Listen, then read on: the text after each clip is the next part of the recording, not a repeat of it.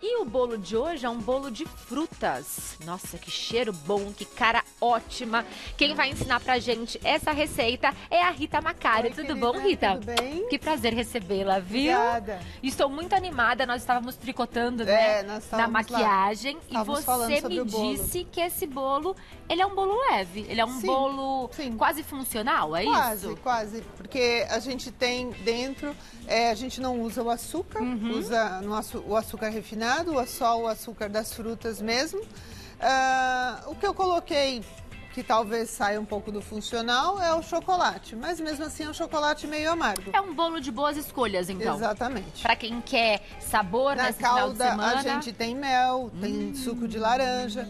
Então, é, não é um bolo fit, Sim, mas é um bolo mais leve. perfeito. Tá e é bom? um bolo que tem ingredientes que eu adoro. Tô vendo aveia. Isso, muito fácil de fazer, dá pra Ai, fazer ai. hoje pro café da tarde. E é gostoso também fazer pro café da manhã de sábado, que é mais Sim, demorado, né? exatamente, Exatamente. Anote aí então os ingredientes da massa desse bolo. Você precisa de três ovos, meia xícara de chá de suco de laranja coado, quatro bananas amassadas maduras, uma xícara de chá de aveia em flocos finos, meia xícara de chá de ameixas secas picadas, meia xícara de chá de castanha do Pará picada, uma colher de sopa rasa de gengibre fresco ralado, uma colher de sopa de fermento em pó, meia xícara de chá de gotas de chocolate meio amargo e uma colher de sopa rasa de canela em pó.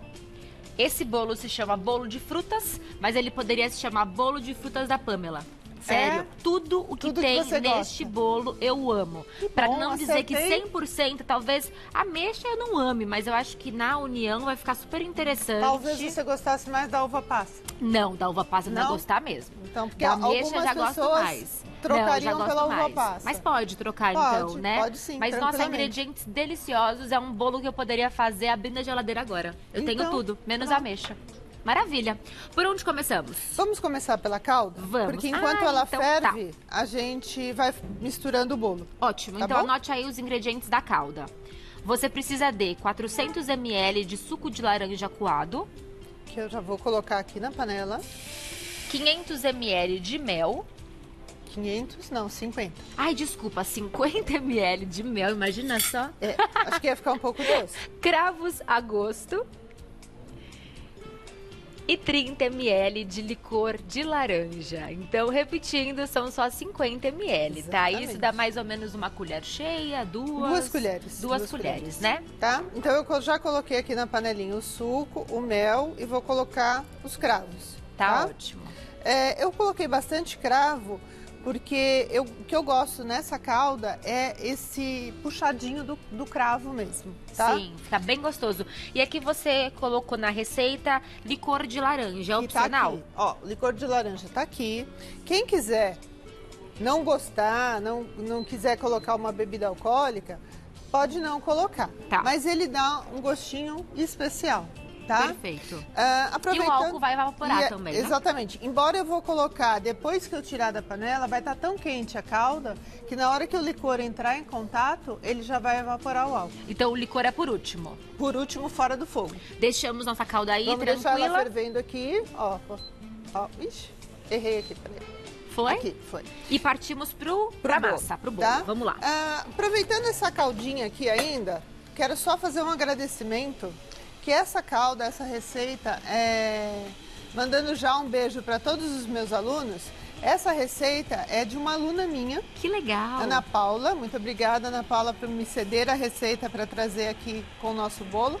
Ela fez essa receita na prova eu achei, e eu fiquei apaixonada pela calda e eu falei, eu vou usar essa receita. Eu gosto muito quando professores incorporam receitas de aluno. É tão bonito, né? E Então. é uma parceria na profissão mesmo. É, e ela fez, foi, foi numa prova, eu amei, eu falei assim, posso usar? Pode. Pode usar. Muito obrigada, Aninha. Vamos usar aqui. Ontem eu gravei com o chefe Danilo, que vem aqui no Revista da Cidade também. E ele fez, ups, Opa. uma receita de um aluno. Um brownie de um aluno. Você quer Vou ajuda? desligar. E vou pôr ela no outro bico, na outra, na outra que é mais fraquinho, tá, Tá bom. É que esse fogão aqui, você É. sabe, né? Ele Esqueci é que ele é muito forte. intenso. É igual a gente quando briga com crush, né? Quando briga com o amor da nossa vida. Intensidade Vamos não deixar falta. aqui. Pronto. Tá ótimo. Vamos então pro bolo. Fica o Mate vai nela. ficar de olho cuidando É, da nossa Mate, calda. fica de olho. Se ela subir de novo... Você grita. Ó, então vamos lá. Colocamos os ovos, Tá ótimo. suquinho de laranja. Novamente. Como os ovos estão inteiros, a gente dá uma mexidinha neles só para quebrar os ovos, ó. É tudo na mão. Tá muito bom. fácil, muito não tem fácil. nem que sujar liquidificador, não, não, não. nem Ó, nada, a né? bananinha já tá amassada. É interessante usar então banana madura, Madura, para trazer madura. essa doçura, né, Isso, pro bolo. exatamente. Porque eu tô usando só o açúcar das frutas. Sim. Então, se eu usar uma banana que não esteja docinha, ela, ele não vai ficar tão saboroso. Sem dúvida. Tá? Misturei a banana, coloquei aqui a aveia, E aveia em flocos finos. finos. Não coloco o grosso, eu fiz também com o grosso. Mas aí eu achei que a textura não ficou legal, tá? Fica rústica demais, Ficou, né? ficou demais. E o farelo também não é E aí ideal. o farelo ficou muito embatumado, então eu preferi esses flocos fininhos, eu achei que ficou uma textura mais no ponto que eu queria. Meio termo. Exatamente. Aqui as ameixas, Ameixas. que eu posso é, não colocar, se eu não gostar. É ameixa desidratada? Não, é ameixa, Ameixa aquela ameixa mesmo. seca, Ah, tá, ameixa seca. igual Uhum. damasco. Sim. Então, por exemplo, aqui eu não gosto da ameixa. Posso pôr a uva passa, posso pôr um damasco picadinho, Uhum. tá? Aí fica do gosto da pessoa, Ótimo. tá? A castanha do Pará, castanha do Brasil, como chamam agora, né? Olha que massa que eu acho bonita. que dá uma textura muito, muito legal. Um crocante, né? Um crocante. As gotas de chocolate. Porque faltava um chocolatinho na receita, sabe? Eu acho, eu acho que Faltava. chocolate nunca é, demais. Nunca é demais. E o Aí, chocolate amargo vai ficar amargo, ótimo. né? Pra- Mas caso você queira fazer só de frutas, pode também, né? Só não colocar o chocolate. O chocolate foi a última coisa que eu acrescentei na receita quando eu tava fazendo o teste. Eu faltei, Ah. falei, falta uma coisinha, um chocolate. Sempre. Canela, que é É, canela, perfume puro. gengibre, gengibre. fresco, tá? Ah, posso colocar o pó se eu não tiver o gengibre fresco? Poder. Deixa eu tirar esse monte de potinho daqui, Poder até pode, viu, Pamela? Porque é, ele dá um sabor também. Tá. Mas nesse bolo em especial, eu dou preferência ao gengibre fresco. Você prefere, então. Eu prefiro. Nessa receita, tá? Particularmente nessa receita, eu prefiro. Tá ótimo.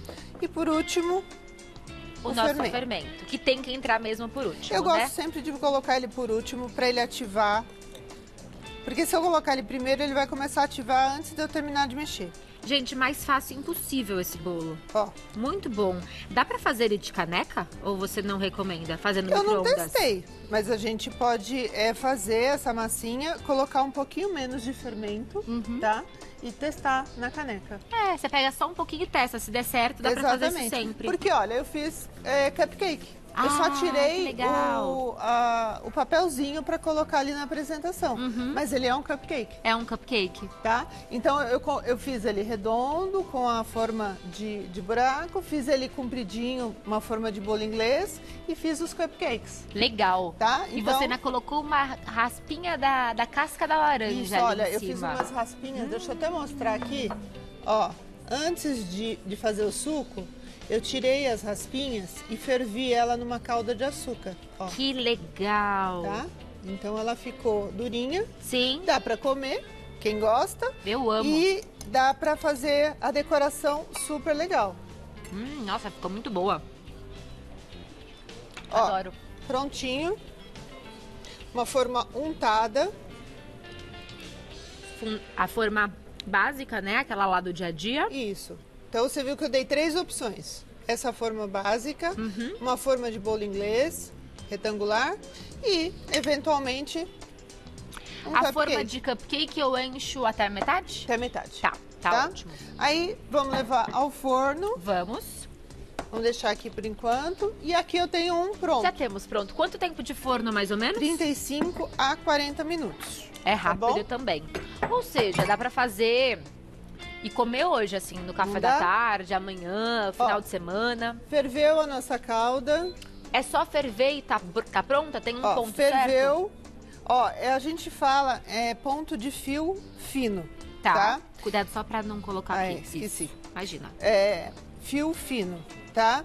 É, Quer que eu mostre esse depois, depois que ela começa a ferver, a gente deixa fervendo de 5, 8 minutos. Tá. E aí tira. tá Aqui bom? tá no ponto, ainda precisaria um pouquinho precisaria mais. ferver um pouco mais, mas como ela ferveu e vazou da panela, Ficamos então a gente ficou com medo de deixar um pouco mais. Então em casa deixe uns 5 minutinhos Isso. depois que ferver. Tirei do fogo a bebida, mistura, tá? E aí é assim. Eu fiz uma calda, tá ali, ó. Essa aqui. Tá prontinha, é essa calda pronta. É, a cor tá? tá um pouquinho diferente Isso, mesmo. porque depois que ela, ela essa daí engrossou um pouquinho mais, apurou um pouco mais. E essa daqui ainda tá quente e essa tá fria. Tá. Então eu vou sugerir duas opções de servir o bolo, tá? Eu posso pegar essa calda agora quente e jogar em cima do bolo Uhum. e fazer, que nem alguns doces sírios, que eles colocam a, a calda e deixam a calda quente ser absorvida pelo bolo, Tá. tá? Vai ficar bem Então, úmido esse E aí bolo, ele né? fica super úmido, tá? Então eu posso jogar ela aqui. Eu não vou jogar ela toda, porque a gente não vai ter tempo do bolo absorver ela inteira, Tá bom. tá? Então não vai, não vai, desculpa aí, Problema nenhum. Não vai adiantar eu jogar tudo. Mas tá caso bom? eu queira, só pegar esse Mas papelzinho aqui. Eu em posso casa, deixar a parte? em casa eu deixo, ou eu jogo tudo, ou eu deixo um pouquinho à parte e deixo absorver. Tá bom. Deixo absorver, deixo ela parada lá. O bolo vai absorver toda ela. Aqui você tá vendo que ele não absorveu. Demora um a gente pouquinho, não tem né? tempo Esse bolo isso. também estaria quente na hora que eu colocar a calda? Pra seria auxiliar? melhor. Seria melhor. Que Tá. o bolo estivesse quente, a calda quente, eu coloco, ele vai absorver e ele vai ficar úmido. Se tá você bom? quiser um bolo mais sequinho, eu posso não colocar a calda e deixar ela à parte. Então eu vou virar ele aqui nesse prato para servir escorrer um para vocês. É, vai escorrer a calda. Que aqui tá tudo rápido. Eu vou até virar ele aqui atrás, tá bom, gente? Fica à vontade. Vai virar escondida. Foi? Ó, não Tá, aconteceu tá nenhum tudo acidente, bem, ó. tá tudo bem. Tá tudo bem, tá? Estamos todos bem. Estamos todos bem, todos com água na boca. Estamos todos bem, tá bom? Ai, que delícia! Então, aqui eu tenho ele daquele jeito que eu falei, mais sequinho, Tá, que a gente coloca a calda. a calda em cima Hum. para servir. Peraí, não põe o meu ainda não, quero experimentar dos dois jeitos. Ah, tá bom. Primeiro o bolo, depois a calda. Eu gosto de provar os sabores separados. Gabi, venha para cá, querido. E aqui eu tenho um outro pratinho para colocar para vocês. Ele Desse jeitinho aí. úmido, tá? Olha que delícia isso, Gabi. Bolo de frutas. Deus do céu. Eu vou dar só uma garfadinha assim, sem, sem a calda. Já me adiantando. Nossa, Está mais molhado. que coisa maravilhosa. Agora eu quero a calda. Agora põe um pouquinho mais de calda, porque essa calda é tudo. Gente, que bolo bom. Não tá Meu muito Deus do céu. bom? E que textura gostosa, né, Gabi? E esse aqui não deu tempo dele absorver a calda como a gente gostaria. Deixa eu provar esse Tá? daqui então. Porque é, quando ele absorve totalmente a calda, ele fica ainda mais saboroso. Tá? Sabe o que eu falei sobre a ameixa? Esquece, amo ameixa. A- passou a adorar a ameixa. Porque a união é muito boa. Não Você selecionou muito bem os ingredientes. Tudo combina com tudo. Esse daqui está muito bom, mas é bom deixar a calda Penetrar Mais calda. É, porque Penetrar esse daqui calda. tá, tá incrível, esse que tá há mais tempo com a Nossa, calda. que bolo gostoso. Tá? Então, essa calda é muito legal. E você viu que a questão da bebida, ah, como eu coloco nela muito quente, então vai evaporar, Uhum. não tem esse problema de ficar com bebida alcoólica e ela dá um saborzinho. O que eu gostei também é da textura. a textura do bolo é muito boa. Não é boa? É uma. A gente mastiga, né? Aquele bolo que você sente os grãos, você sente a aveia. Não fica Ai, mole, mas você sente todas as texturas na sua boca. Rita, que sorte a minha ter vindo num dia que você está aqui. Amei. Onde o pessoal te encontra, Rita? Então, vocês podem me seguir é, no Facebook, na página Rita Macário Cake Designer, ou no Instagram, arroba Rita Macário. Muito bom. Tá Parabéns e Muito muito obrigada. obrigada. Por trazer pra gente um bolo Tchau, tão bolo. gostoso. Tchau, bolo. Tchau, bolo. Tchau, gente. Tchau. Muito obrigada. Vamos viu? voltar.